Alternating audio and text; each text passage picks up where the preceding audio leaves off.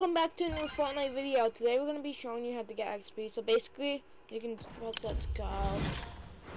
Oh wait, the, the map code's on the top. You can do this. Four. And boom, you get an XP.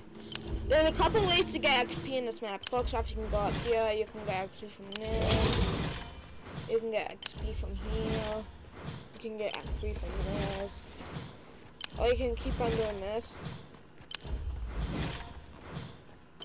I may put the XP, this XP map in the description, but see, look, you can, you can um, get XP from this, but you gotta do something. I gotta show you.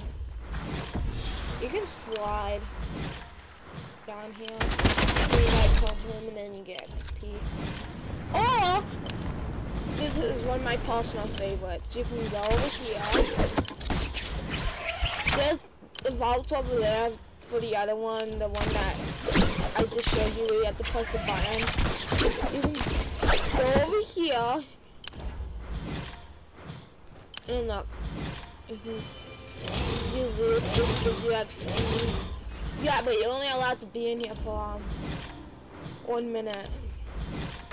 Which is a bad thing.